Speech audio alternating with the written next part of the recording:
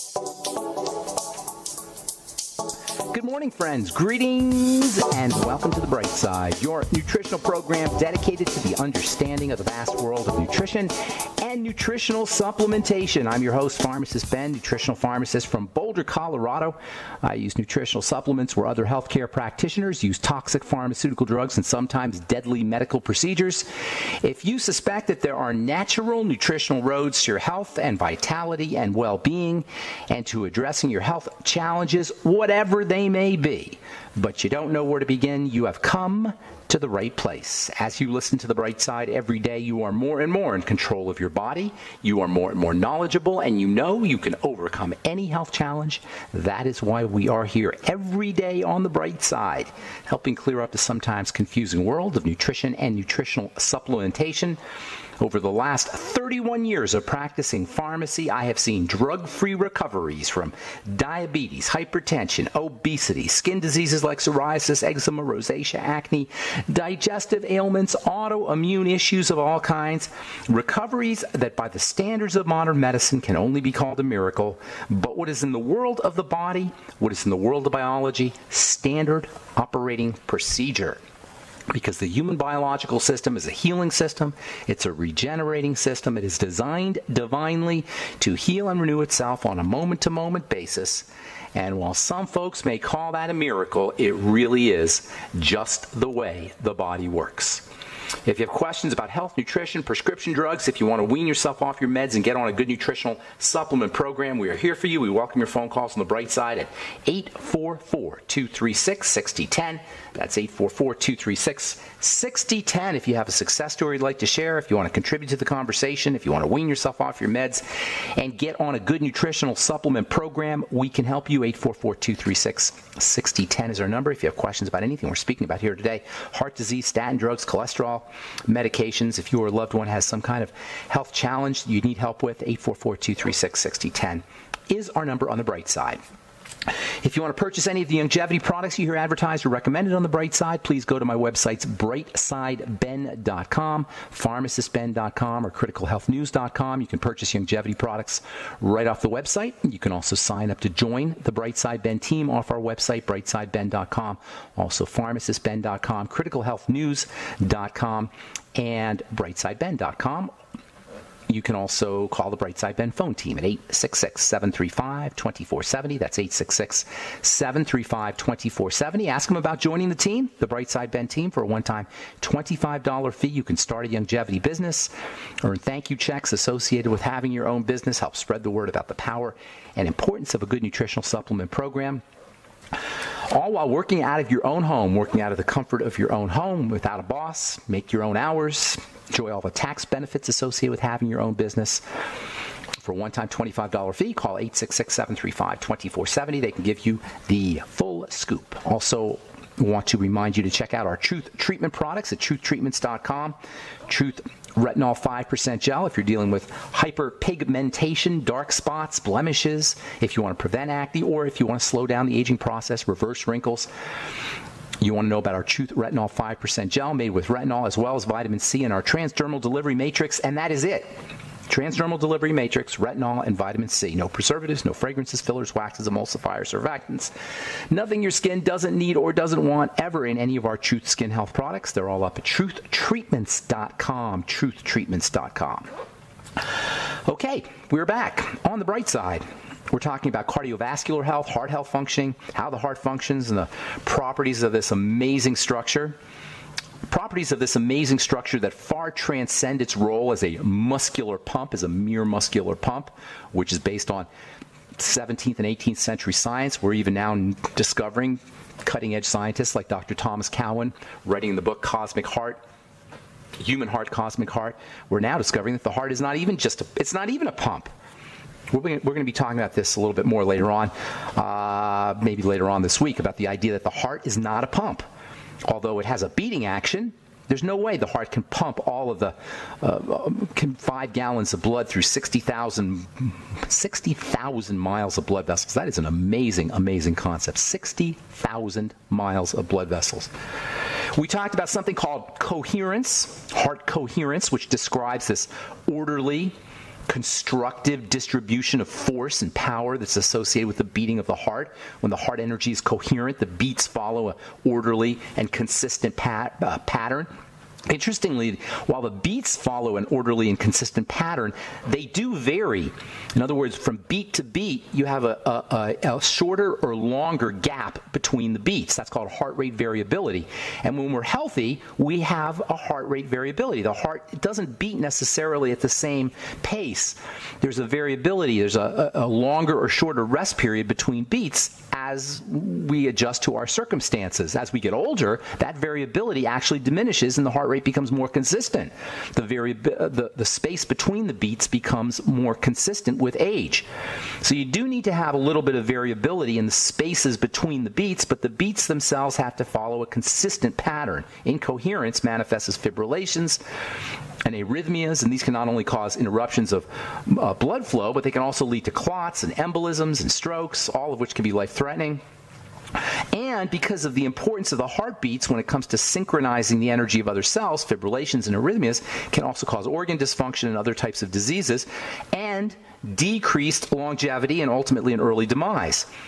This is especially relevant when it comes to stress and stress management. In a paper that from the uh, journal Applied Psychophysiological Biofeedback from 2015, 72 caregivers of dementia patients who had high stress scores were trained to use breathing techniques, relaxation techniques, positive psychology techniques, all of which increase heart rate coherence. Six months after the training, they were able to generate an appropriate level of heart coherence, appropriate patterns of heart coherence, with statistically significant decreases in heart work or heart overload. Researchers concluded that training and techniques of heart coherence and positive psychology, which, as I say, basically is relaxation and deep breathing and affirmations, uh, uh, training in techniques of heart coherence had effective results in the stress management of participant caregivers. Once again, demonstrating the importance of relaxation strategies, oxygenation and breathing strategies, as well as positive affirmations. This is not airy fairy. This is hardcore biochemistry, hardcore science. Relax, lighten up, positive thinking, positive affirmations, optimism, love, peace, forgiveness I know we talk about nutrition. I know I, am a biochemist or I like biochemistry and I follow nutritional protocols, but there's so much more to health and wellness and so much more to healing. And none of this has anything to do with the doctor, obviously. The heart is also related to the brain. It's also connected to the brain. In fact, the heart and the brain are unified into a, a system that you can call a heart brain system. And in this way, dementia, Alzheimer's disease, other cognitive issues that occur as we get older can be as much a heart problem as they are a brain problem. When was the last time your neurologist told you that?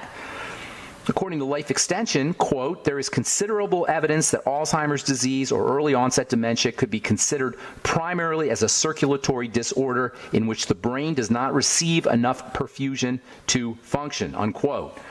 Remember, the brain is using up to 25% of the nutrients and the oxygen in the blood, and if the flow of the blood is blocked, deterioration of brain tissue, disease of brain tissue is pretty much inevitable. Secondary to or following clogs, sticky blood. I always say all disease is cell disease, and all cell disease follows dirty blood.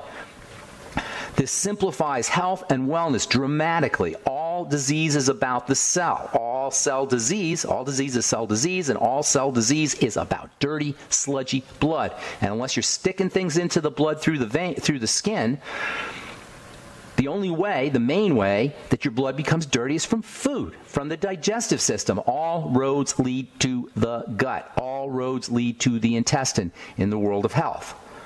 The brain also receives information that is linked to the pulses of the heart, the waves of the heart. Like radio waves carry information, carry music, and carry news, heart waves carry information about the state of the body. Heart waves carry information about the external environment. The heart is a type of brain, it's reading the external environment.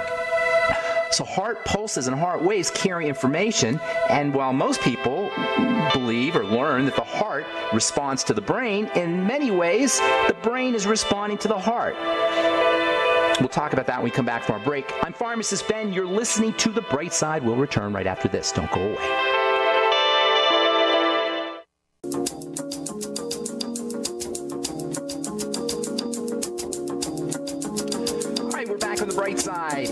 844-236-6010 is our number. That's 844-236-6010. If you have questions about the longevity products, longevity business, heart health issues, if you're on statin drugs or any medication you want to wean yourself off, if you have a health challenge you or a loved one is dealing with, you want help, 844-236-6010. We are here for you on the bright side today and every day, 8 to 9 Pacific and 10 to 11 Central Time, 24-7 on our archive pages at brightsideben.com and benfuchsarchives.com.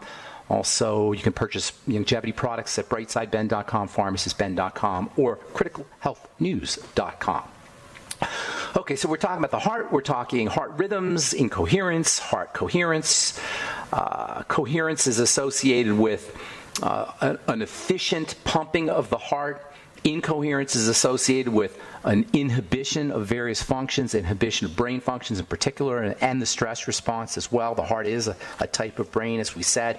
The heart communicates to the brain as much, actually, the heart communicates to the brain more than the brain communicates to the heart, even though most of us are conditioned to believe that the brain orders everything else in the body around. It turns out that the heart may be predominant when it comes to signaling, uh, signaling to the brain and signaling to the rest of the body. The heart gets information faster than the brain does, and then it turns in turn sends those sends that information and sends those signals to the rest of the body. That's why heart disease is so critical for the entire body, not because the heart's pumping blood, but because the heart is informing.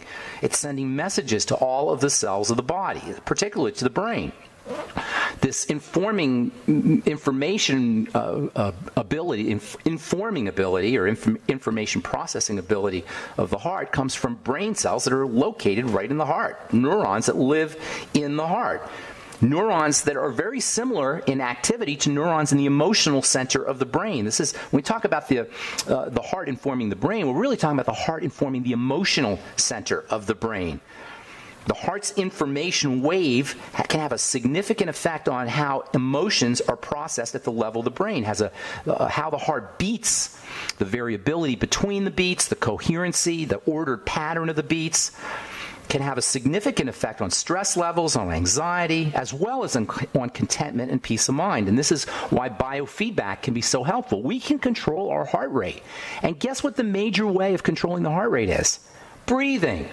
Yet again, we see the importance of slow, deep, rhythmic breathing. When we breathe slowly, deeply, and rhythmically, somewhere around six breaths per minute is a good place to be, our heart in turn stabilizes, our heart coherency increases. And this sends a message to the brain that everything's okay. That's why deep breathing will slow things down quickly, will calm things down quickly. If you're dealing with anxiety, you're dealing with insomnia, if you're thinking too much, if you got jitteriness or a sense of impending doom, a sense of fear, deep, slow, rhythmic breathing via its ability to slow down and, and entrain the heart and put the heart back into a state of coherence calms everything down. This ability that the heart has to learn things, to remember things, to be an information processor, to generate electromagnetic fields that carry information, not only impacts the body that contains the heart, not only impacts us, but it also creates external effects. Remember, the heart is generating a field outside the body. So, the same way that heart rate, heart coherency, heart rate variability, the space between the beats, the same way that this is affecting our brain, the same way this is affecting our cells, the same way this is affecting all of our organs, it's affecting else. Because remember, this electromagnetic wave, this information wave, is coming outside the body. Everybody around us is sensitive to this, whether we know it or not. The heart's field, the heart's electrical field, extends some four to six feet outside the body. So it's pretty reasonable to assume that the same kind of effects that modify the activity of our organs, the, the heart's, uh, heart's owner's organs and cells and tissues and structures, could easily affect the organs and cells and bodies of other people as well. This is particularly important for mothers and newborn babies, or mothers and infants, or parents and children for that matter. Heart rate variability, heart coherence can have a dramatic impact on the development of an infant, the development of an embryo or a fetus in the womb, and the, the growth and development of children. Yesterday, we talked about an abstract heart, an invisible heart, a metaphysical heart that informs groups of people. And that's not really a heart, of course, it's a metaphysical heart, but it's a source of information that individuals in groups, whether those groups are nations, countries, cities, teams, organizations of any kind.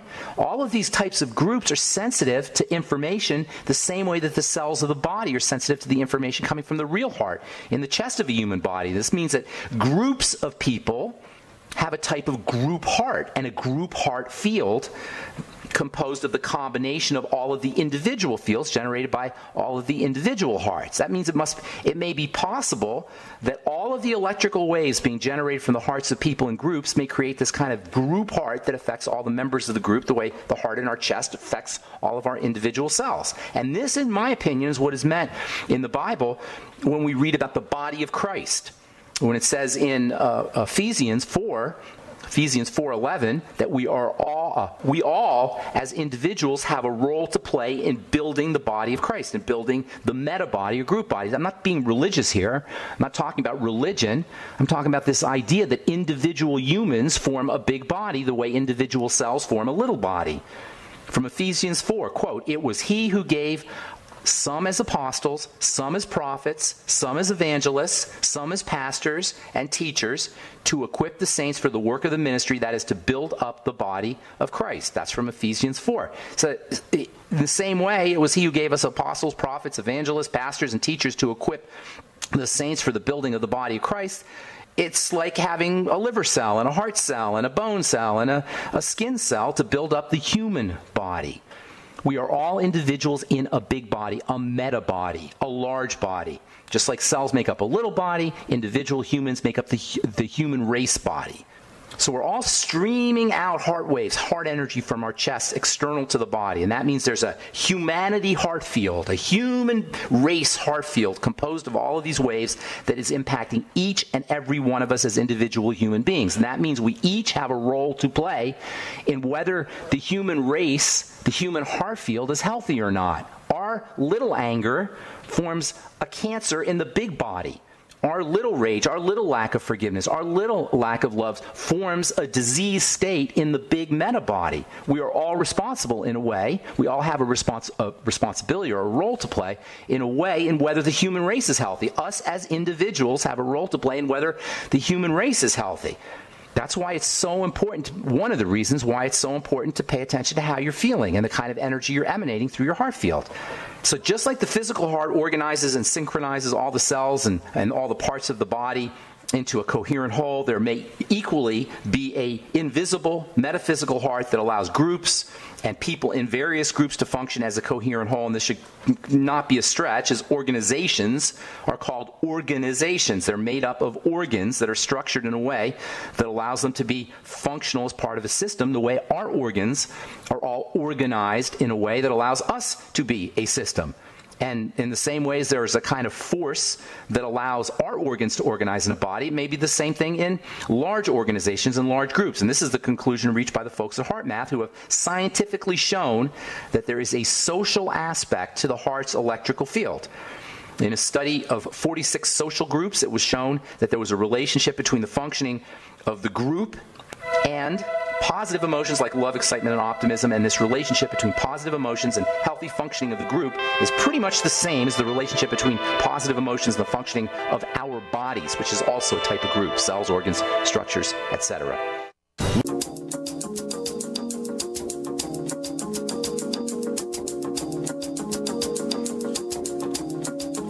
Okay, we are back on the bright side. Eight, four, four. 236 is our number. We got lines open for you at 844 236 6010. If you have questions about uh, the longevity products, longevity business, health challenges you or a loved one may be dealing with, heart, heart health issues, if you're on medication, you want to wean yourself off, we can help you. 844 236 6010 is our number, and we'll get your calls here just a moment. We do have lines open at 844 236 6010.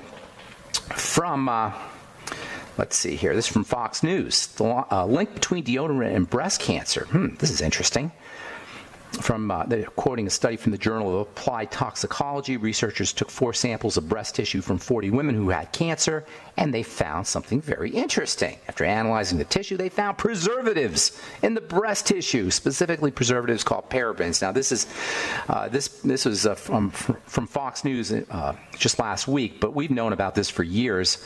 I first read about parabens in breast cancer tissue when I was in pharmacy school 30 years ago, and I hated working with parabens most people these days know that parabens are, are nasty preservatives. They're food preservatives, actually, and they're also in cosmetics. But it's not just parabens that's a problem. Sometimes marketing companies and skin, uh, uh, skin product companies will say, oh, we don't use any parabens, but they use other nasty preservatives. And indeed, it's not just the parabens that are a problem. Although parabens do act like the hormone estrogen, they're said to be xenoestrogens or foreign estrogens, and they can affect reproductive tissue, breast tissue, cervical tissue, uterine tissue, ovarian tissue, and they can be linked to breast cancer. And they know they've known now, as I say, for decades that that breast cancer tumors uh, does have measurable amounts of parabens. I've always said you can't. It, it, it's not reasonable to believe that you can rub these toxic chemicals on your body daily for months and years and decades and not expect to have a problem. Parabens not only are toxic, but they enter into the blood. They're fat soluble. They get in through the skin. Now, it's true, there's not a lot of parabens in skincare products. They use very tiny concentrations, but it's the chronic application that you where you run into a problem. That's why I don't use any preservatives in my True Skin Health products. And it doesn't have to be parabens that are a problem. All preservatives are going to present some kind of health challenge. And speaking of preservatives and health challenges, from the journal Nature Communication, study shows how food preservatives may disrupt human hormones and promote obesity. Chemicals in breakfast cereals and other everyday products can make you obese. Obesity has a lot to do with toxicity. Obesity is partially related, or, or, fat storage, fat deposition is partially related to the body's attempt to sequester poisons. The body stores poisons in fats. And so obesity may be related to excess ingestion of things like food preservatives and other food additives. All right, one more here. This is kind of interesting. Anemia linked to increased risk of dementia from the uh, American Academy of, uh, of, Neurology. This was from the online issue of Neurology. Anemia, low levels of red blood cells may increase the risk of dementia. This is what we were talking about earlier. How there's a major connection between the circulatory system, between the heart, the blood vessels, how well the heart is working, how well the blood is being circulated through the body, and brain health issues. As we get older and our blood becomes more sludgy and our blood becomes more dirty, it becomes more difficult for the heart, for the brain to get what it needs from the blood. And under those conditions, it's much more likely that brain tissue will deteriorate, and this can show up as dementia. And this can also show up as Parkinson's disease. And this can show up as all kinds of brain health issues. And it, it shouldn't be a surprise, it's obvious. If an organ is not perfused, that is, if it doesn't get the blood supply it needs, it's not going to be nourished, it's not going to be detoxified, it's not going to be oxygenated, and there we have the three points on uh, the three uh, major causes of inflammation. Suffocation, starvation, and toxification following secondary to dirty blood, which itself follows and is secondary to the triangle of disease. The triangle of disease leads to starvation, suffocation, intoxication, then inflammation, then more starvation, suffocation, intoxication, then more inflammation and disease. This is why you backtrack always, no matter what your diagnosis is. Your diagnosis doesn't matter. No matter what your diagnosis is, you backtrack to the triangle the digestive system, the blood sugar system, and the adrenal thyroid complex. You relax the body, you stabilize the blood sugar, lower insulin levels, and work on digestive health. It's as simple as that. 844-236-6010 is our number. I'm Pharmacist Ben. You're listening to The Bright Side. Let us go to Wesley in Idaho, who always has something good to say. What's up, Wes? How you doing, man? Good morning, Ben. Uh, good morning got a book here, Minerals for the Genetic Code by Charles Walter. And Great book. Says, Love the book. Now, uh, for complete protein synthesis, you need hydrogen, uh, sulfur, and yttrium. And, and, what? What is the last thing? Yttrium is yttrium. I, I want to say yttrium. It's oh, y- yttrium. Yes, you y, yeah, yttrium. Y T T R I U M. Yes, uh, yttrium. What now? What does he say about yttrium? You need yttrium to process protein. It says here for complete protein synthesis, you need all three of these: hydrogen, sulfur, and yttrium. Is way up and it's let me spell it so I make sure you're talking right. Y T T E R B I U M. Ytterbium. R I U M. Y T T R I U M. Yttrium. Huh. That's that's the way uh, YouTube had it uh, four or five times. Different people pronouncing it. You know, I want to say uh, yet yttrium. You know, put an e in there. But anyway, uh, further in the book, it says here Lou Gehrig's disease, Alzheimer's, Alzheimer's, uh, multiple sclerosis, and Parkinson's disease are all related to yttrium deficiency. Well, I, I, you know, I, am not, I'm not denying that. I, I never heard of it. De- deficiencies cause disease. I don't know. I'd like to see how he's linking, uh, how he's making that association, where he gets that from. And I do like the book. The book is a very interest, shows a very interest, interesting relationship between minerals from the soil and genetics, and it's really kind of cool. I think it came out it came out a long time ago, uh, and he's got some very good information in there. When did it come out? Do you have it there? Uh, I think it was 2002. Oh, okay. I thought it came out before sure. that. Now, here's another reference to yttrium. Uh, a Dr. Chaim Horovitz experimented with it. He put it into test animals, and they had a lifetime three times their normal lifespan. Now, I want you to spell that real slowly one time for me. Y T T R I U M. The you know the last part is common. You know it's a chemical. Yeah, is a chemical suffix. That's right. I know what ytterbium is, but I, I can't say I know what that is. Way West, I got a bunch of calls I got to get to. Thank you so much for your call. Appreciate it. Uh, uh the book is called Minerals for the Genetic Code for the listeners. Thank you, Wes. Here's, a, here's another book you might yeah. be interested Biochemistry, uh, Scandium and Yttrium by Dr. Chaim Horovitz. I, I, will take I will take that under advisement. Thank you so much, Wes. Appreciate it. Have a, have a good day, man. All right, I'm Pharmacist Ben. 844-236-6010 is our number. We'll take a commercial break and come back with more good health information on the bright side on the Genesis Communication Network.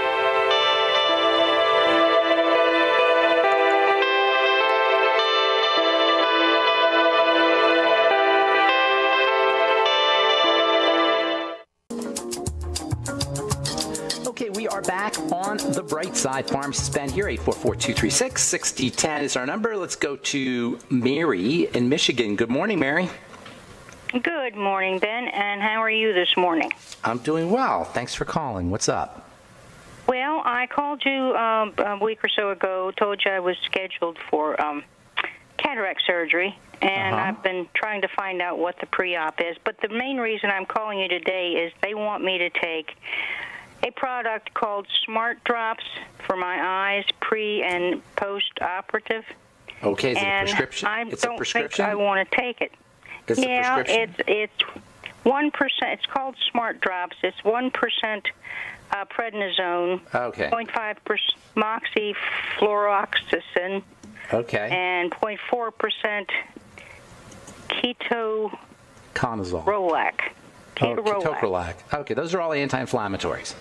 And the idea being yeah. that after you have surgery, you're going to have a major, you're going to have, in the eye especially, you're going to have lots of inflammation. They want to keep that inflammation down. Uh, you know, a surgical procedure is, it's traumatic for the body. The body freaks right. out. When you have a surgical procedure, right. the body's wisdom, the body has this inherent intelligence, and the body doesn't know you've been in surgery. It thinks you've just been wounded. So it, right. it mobilizes to protect you from the womb, and the inflammatory process, as we've said so many times, is a defensive protective response. So what you got to do if you're going to have surgery is you got to bypass that protective response because the inflammation itself can be problematic and slow down the healing. Mm-hmm. So they want to pre- uh, prophylactically or, or preemptively ahead of time hit you with anti-inflammatories so you don't inflame, or at least you inflame less after you have your surgical procedure. Cataracts are, you know, they do them somewhat routinely these days, but it's still a serious surgical procedure. I would personally be using the drops if it was me. Um, there's really no option. There's no alternatives to the drops or to prednisone in the eye. I mean, there's no natural anti-inflammatories that you can use that compare to uh, ketorolac or or uh, or uh, uh, prednisone. So you really don't have many op- much options there. I, I would not be messing around. I mean, you're about to have a very important surgical procedure. What you can do though, which would be mm-hmm. really helpful for you to do, is load up mm-hmm. on nutrients, especially vitamin E zinc, vitamin C. I would also be using NAC, NAC, which we've talked about before, MSM sulfur, the B complex, your omega 3 fats, get on the Healthy Start Pak. Stay on and take extra EFAs. If you have any digestive health issues, make absolutely sure you're eating pristinely, at least for a week. I know it's hard to sometimes discipline ourselves not to eat the wrong foods, but at least for this week mm-hmm. or the mm-hmm. next couple of weeks, you got to be really pristine with your diet. And uh, mm-hmm, I would okay. be avoiding sugar like the plague. I'd be avoiding it as oh, best as possible. Okay. But good for you. Okay. So be extra vigilant even, about even, sugars. Even fruit, though. Even I wouldn't. I would stay away from it personally. I mean, it's not as bad as it's not as bad as you know candy bars, of course. Okay. But but I would stay away from it. There's no there's no need for fruit. Uh, vegetables. I'd be eating uh, eating lots of veggies and making sure you're doing veggie juices, bone soup, anything you could do to build uh, reduce inflammation from a nutritional standpoint and to build tissue from a nutritional standpoint will be in your interest. You know, you don't think about it, but the eye is loaded with connective tissue. In fact, the eyeball itself is largely made up of hyaluronic acid. So making sure you're using HA supplements, hyaluronic acid supplements, that might be helpful for you. Cartilage supplements, glucosamine, the glucogel caps, gelatin, bone soup, anything you could do to help build the body via nutrition and reduce inflammation via nutrition is going to be in your health interest. Now, uh, one last caveat, sometimes uh, ophthalmologists and eye surgeons will tell you not to use vitamin E, and actually actually, they'll tell you not to use vitamin C uh, pre and post surgery, especially if you're having LASIK surgery. Uh, you really want to have a discussion with your doctor about that because uh, I don't agree with them. And you know, you you want to. How much E and C would you say? 400 IU a day, two, on, on the E, 2,000 uh, 2,000 milligrams a day on the vitamin C. But run it by your physician. You know, when you're in, when he's cutting you and he's doing a surgical procedure, you got to give him the respect of letting him know what you're doing. It's really true about all doctor-patient interactions when you're being cared for. I'm not a friend of the medical model. Make no mistake about it. I know you know that. But right, when you're being right. cared for by a physician, it's just a matter of respect to tell him what you're up to. Not that you have to listen to what he's saying, but you just want to inform him of what you're up to mm-hmm. as far as nutritional supplementation mm-hmm. goes, and especially if you're uh, not going to be using the prescription medicine, uh, you definitely want to let him know that. He has the right to know that if he's going to be taking care of you. All right, Mary, I got to motivate here. Anything else you want to ask? You. Okay, thank you. Good luck. Uh, no, God that, bless that you. That was good. Thank you. Appreciate okay, take care. Bye bye. All right, bye bye. All right, let's go to, uh, to, to, to, let us go to Carl, the Truth Raider in Oregon. Good morning, Carl. What's Howdy, up, buddy? Hey, buddy, what's going on, man? Well, I just want to find out what you got as far as information is concerned in the exciting world of uh, modern day futuristic uh, type of uh, medical uh, innovations, yeah. such as what you were talking about uh, a couple of couple three years ago. You were touching on for a few shows about the um, technologies with stem cell research, 3D printing. 3D printing is a big one. Yeah. Detection, smartphones, uh, wearable technology that can detect uh, what your blood, uh, what, what, your heart rate is like, what your blood pressure is like, what, even what your blood sugar is like. They have, uh, they're working on. It they may already have a wearable technology like a, a, a, wristband that you might wear, a necklace that you might wear that'll actually read what's in your blood. Doctors love this because then they could tell uh, whether you're taking your drugs or not. Uh, they may even have technology that goes inside your body that can tell whether you're taking your medication or not. Personally, that sounds like the camel's nose under the tent, if you know what I'm saying. I don't want any I don't want anybody going into my blood remotely, no less. You know, it's right. bad enough when they go into your blood if you get a DUI or something, or if they suspect you of DUI or or using you know drugs or something, they'll go into your blood. That's bad enough. But what about remote technology that allows people to sense your blood remotely? Hey, like that? What does that feel like, folks? you know, not good. And then often, right? Not good. But the 3D printing thing that kind of blows me away. You know, they're 3D printing kidneys now, and 3D printing skin now, and 3D yeah. printing medication now. And I did a, a radio program about um, eight years ago. Where, when I first heard about 3D printing, it was about eight years ago, and I was I kind of didn't quite understand it. And then I started reading about it. and I started talking about it on the radio, and people were nobody understood what it was. This was just a mere eight years ago. Today, you go to the bookstore and you can get magazines on 3D printing where you where they teach you how to 3D print toys and process. You can 3D print a house. You can 3D print cars. You can 3D print the, the machinery and the, the and the the widgets for making anything these days. And the fact that you can 3D print biological biological tissue is absolutely mind blowing. I personally believe that's that's the biggest thing that's coming around the pike. Artificial intelligence is also going to be big. You know, uh, the first use for robots. You know what it's going to be for working with old people in nursing homes. Those are going to be the first. Wow. That's going to be the first like humanoid-like robots. There's a thing on TED. You ever watch TED? TED you know those TED videos? Yeah, TED conferences. Yeah. yeah, the TED conferences. I was watching a TED conference where they had a dog, a 3D dog. I'm uh, not a 3D dog, but a, a robot dog, uh, and it was amazing because when when uh, a robot has legs and a head and turns its head certain ways and has eyes, even though you know it's a robot, you can see it's a robot, there's something about our brain that wants to think that it's alive if it just has the ability to move and has kind of the rough approximate shape of a living creature, there's something about our brain that makes us think the robot's alive. And that's when you can actually see the gears and the and the metal and the parts of the dog, at least on this TED video. And I was found myself thinking the thing was cute. But imagine when robots have facial expressions and they have eyes and they can create them so they look humanoid like. It's going to be very hard and progressively harder and harder to distinguish between something that's alive and something that's robotic. And they're actually now uh, bioethicists, who are people who study the ethics of bio- biology, uh, they're now studying whether robots should have rights or not how the, how they how we're going to treat robots once they're around if we're going to give them rights. Now, obviously, we're 100 200 years away from that, but they're beginning to explore the possibility of robot rights. Shades of Isaac Asimov. I don't know if you saw that movie, I Robot. Yeah, anyway, it's a brave new world, Carl the Truth Raider, and you and I probably aren't going to be here to see see a lot of it, but it's on the way. Make no mistake about it. like All right, I'm going to get one more call in, Carl, if I can. Have a beautiful day. Right. I'm glad you called. Thanks, buddy. All right, so last word for John the Underwear Guy. Good morning, John. Hey, good morning. Good morning, sir. Okay, I'm going to make it quick. Yes, I'm sir. parked out here in Death Valley. I'm okay. Drinking a smoothie, and I'm thinking about nuts. And I'm out here on the road. Uh, my when I get the munchies, I've kind of uh, turned to nuts. My nuts Okay. are almonds, Okay. uh, just for general munchies. Walnuts to put my smoothies, and Brazil nuts for the selenium. Those, those are Um, three awesome nuts. Almonds sometimes have a, well, nuts can be a problem for some folks, but if you can eat nuts, uh, they got some a lot of nutritional value. The one knock on nuts, aside from the fact that they're allergenic for some folks, is the oils oxidize when they're roasted. So you want to kind of keep your nuts ro- uh, uh, uh, unroasted and fresh if possible. John, the underwear guy, I'm glad you called, but we're out of time, buddy. So give us a call back tomorrow if you got anything else to say about, Hey. about nuts. All right, thanks. There's Have a always day. another day. Thank you. All right, buddy. Take care, man. And also, nuts are a great source of fiber. Don't forget that.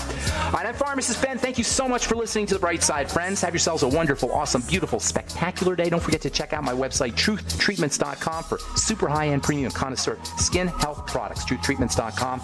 We will talk to y'all later, folks. Bye for now.